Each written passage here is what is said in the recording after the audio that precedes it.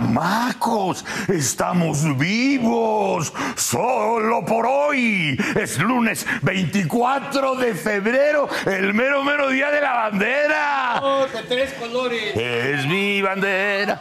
El, el el el- No, no el lavado. no, no el lavado. El lábaro. Lávaro. Lábaro. Eh, el lábaro patrio. Dile que lo lea. Es, es mi bandera, le enseña nacional. Son estas notas su cántico marcial. Desde niños sabremos venerarla. Y también por su amor morir. ¡Ah!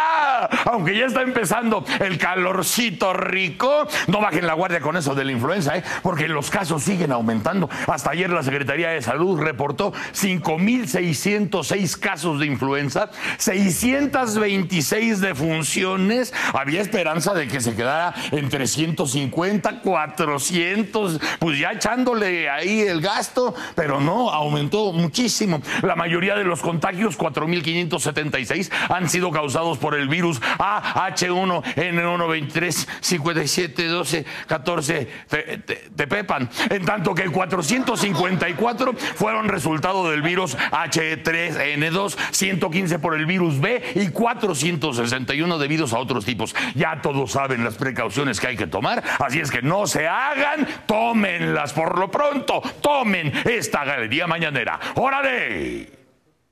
Jálele, pelado. Le importa? Usted le jala. ¿A poco usted es muy picudo? Ándele, pa'l bote. ¿Qué se siente muy bombo atómico? Jálele, le ¡No voy! Preso me llevan, mi querida, va llorando, me llevan preso por las calles Tal vez se crean que es porque les tengo miedo, calman, desmonte.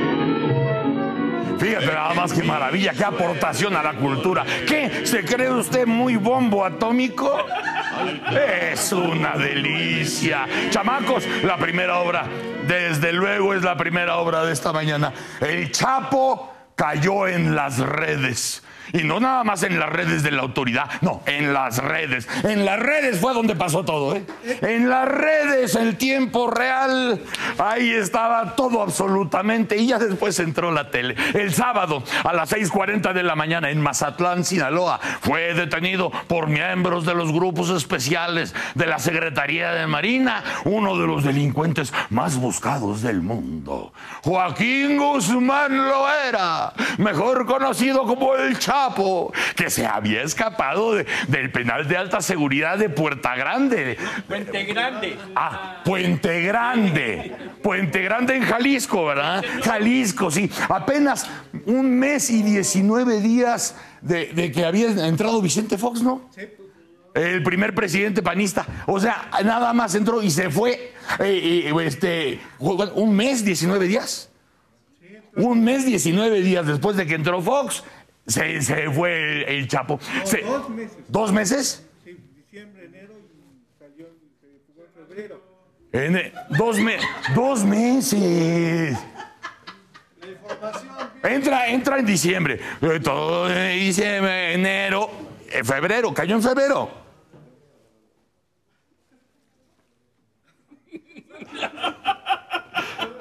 Luego me pasas tu lista de followers. Este, se dijo que el capo había comprado a las autoridades del penal. Es lo que se decía. No, no, yo no. sé, yo sé que ustedes creen que esas cosas no pasan en este país, pero yo tengo la información de consignar lo que se dice, que eh, tenía compradas a las autoridades del penal para dejarlo salir en un carrito de ropa sucia. Parece ser que todos los acusados ya hasta salieron, ¿verdad? Ya hasta salieron. Es más, ¿cuánto tiempo le faltaba a Chapo para acabar su condena, la que tenía cargando?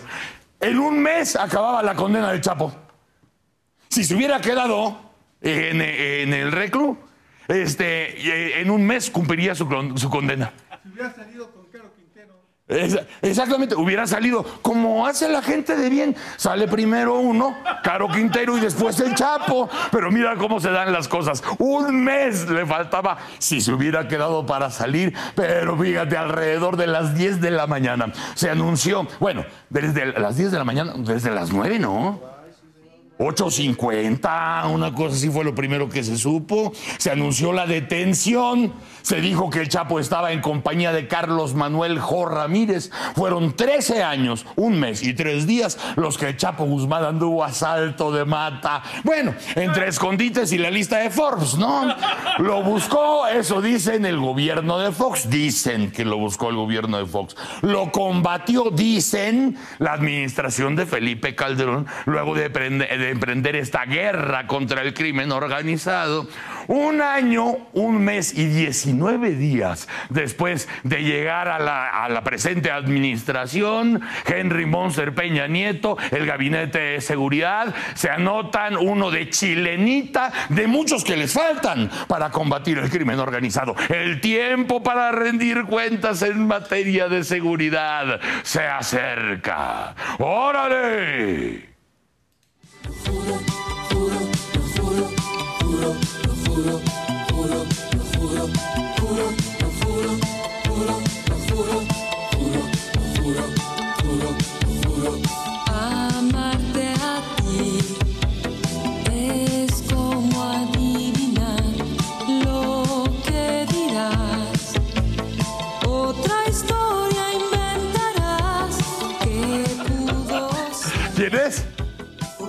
Daniela Daniela Romo. Hola, Daniela. Bueno, Daniela enmarca esta siguiente obra que se llama Como Santo Tomás.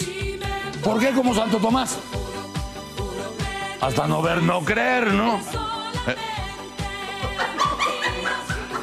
¿Qué ibas a decir? Dime, no importa. hace vinos, pensé. No, no. Sí había un vino Santo Tomás.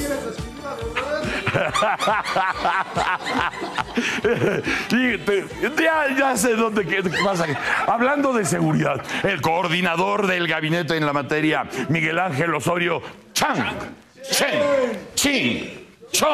Que trabaja como secretario de gobernación, en su reunión con eh, miembros de la Canacintra, recordó que el primer compromiso que hizo Henry Monster al asumir la presidencia era que los índices delictivos bajarían y que el compromiso se refrenda. Abatir la inseguridad al mínimo. El viernes eso fue el viernes. Decía Osorio Chang Chen Ching Chong. Llevaban 74 líderes del crimen organizado detenidos de un universo de 122 objetivos. Osorio Chang Chen Ching Chong dijo que no haría el compromiso de disminuir el secuestro, sino solamente bajarlo a su mínima expresión.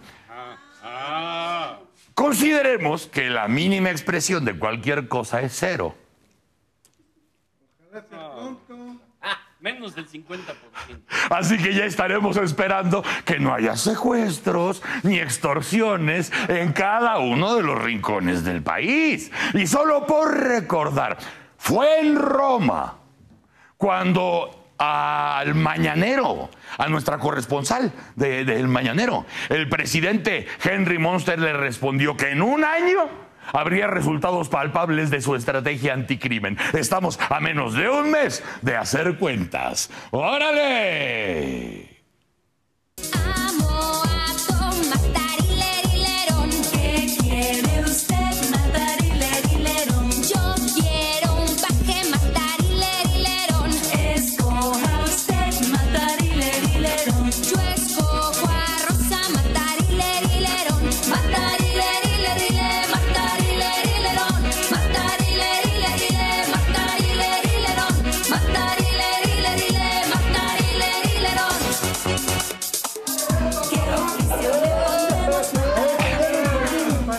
No le gusta Matarilerillerón.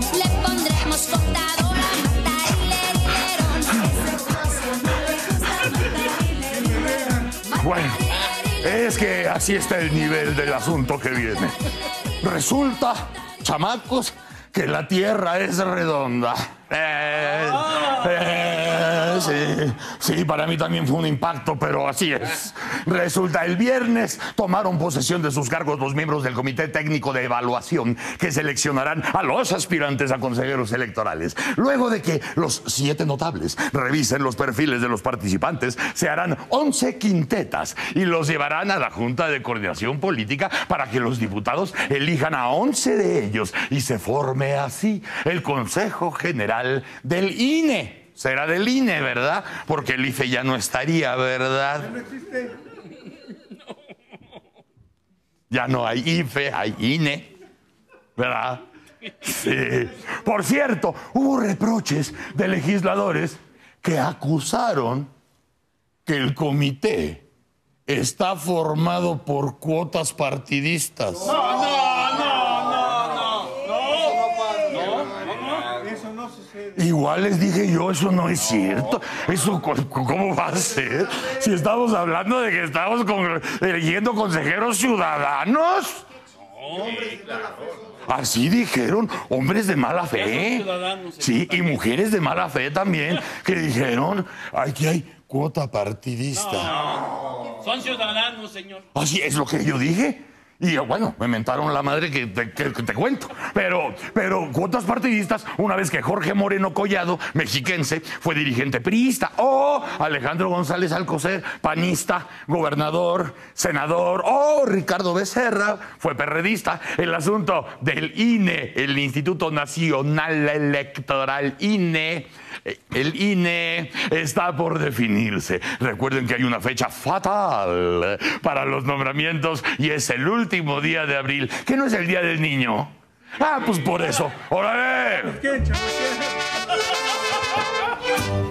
A alguien querrán chamaquear ese día. 6 de la mañana con 42 minutos, mis chamacos. Estamos en Foro TV, estamos en W Radio. El mañanero está al aire y por hoy nadie lo puede remediar. ¡Órale!